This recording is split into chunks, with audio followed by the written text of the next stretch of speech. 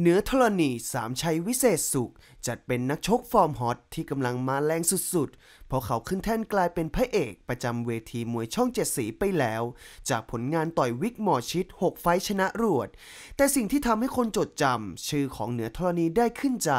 กลับมีจุดเริ่มต้นมาจาก character ที่ไม่เหมือนใคร เพราะเหนือธรณีเป็นนักมวยไทยคนแรก ที่สวมผ้าคลุมสีดำและใส่หน้ากากซูเปอร์ฮีโร่แบทแมนขึ้นเวทีมวย จนกลายเป็นเอกลักษณ์ประจำตัว และเป็นที่มาของฉายาไอ้แบทแมน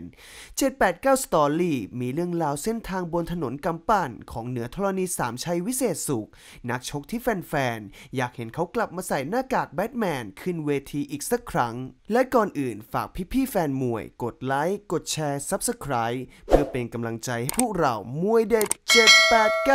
789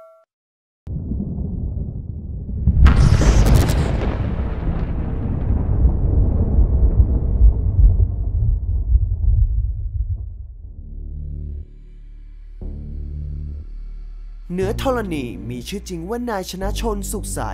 ชื่อเล่นเบียร์ เกิดเมื่อวันที่ 21 เมษายน พุทธศักราช 2538 ภูมิลำเนาเป็นชาวตำบลหนามแท่ง อำเภอศรีเชียงใหม่ จังหวัดอุบลราชธานี บิดาชื่อธนากร มารดาชื่อจันทีสุขใส เริ่มต้นชกมวยครั้งแรกตอนอายุ 9 ปี โดยใช้ชื่อในการต่อยมวยนัดเปิดหัวว่า เบียร์ไทยสิจาบูนเดินสายหาชกมวยภูทรมาอย่างโชดโชน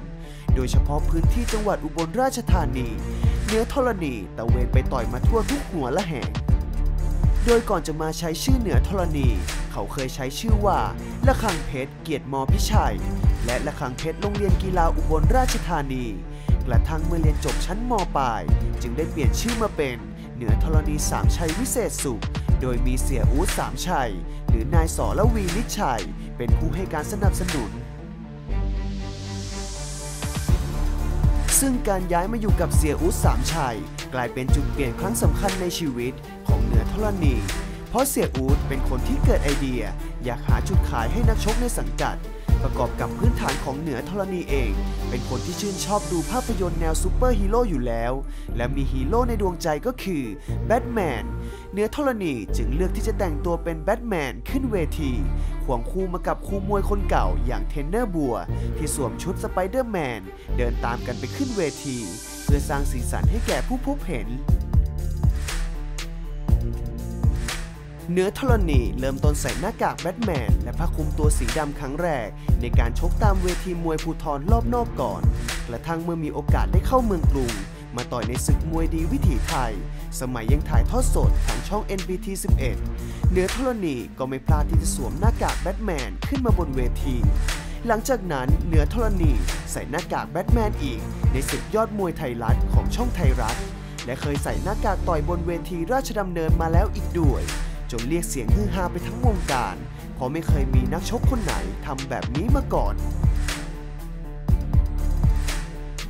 เนื้อธรณีเคยบอกด้วยว่า ทุกครั้งที่เขาใส่หน้ากากแบทแมน เขาจะรู้สึกว่าตัวเองมั่นใจมากเป็นพิเศษ เพราะเป็นฮีโร่ที่ตัวเองชื่นชอบ และอยากให้คนทั่วไป มองว่าเขามาสร้างสีสันให้แก่วงการมวยไทย ไม่ได้มีเจตนาอย่างอื่น อีกอย่างการใส่หน้ากากซูเปอร์ฮีโร่ยังช่วยให้เด็กๆ น้องๆหนูๆรุ่นใหม่ หันมาสนใจมวยไทยได้ด้วยไม่เพียงแค่ character นอกสังเวียนที่ทำให้เหนือธรณี เป็นที่สนใจของแฟนหมัดมวย เรื่องผลงานและฝีไม้ลายมือของเหนือธรณี ก็พัฒนาขึ้นอย่างต่อเนื่อง จากเดิมที่เป็นมวยเข่าก็ปรับสไตล์จนกลายเป็นมวยที่มีฝีมือครบเครื่อง เดินได้ถอยเป็น นั่นจึงเป็นที่มาที่เหนือธรณีฟอร์มฮอตต่อเนื่อง กระชากเข็มขัดแชมป์รุ่นไลท์เวทได้ถึง 2 สถาบัน ทั้งของเวทีมวยลุมพินี และเวทีมวยช่องเจ็ดสีแถมยังได้รางวัลนักมวยขวัญใจช่อง7ประจำปี 2563 อีกด้วย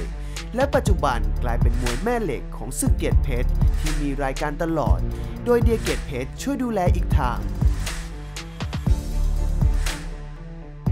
เหนือธรณีกำลังอยู่ในช่วงสำคัญเพราะมีลุ้นเสื้อสามารถช่องเจ็ดสี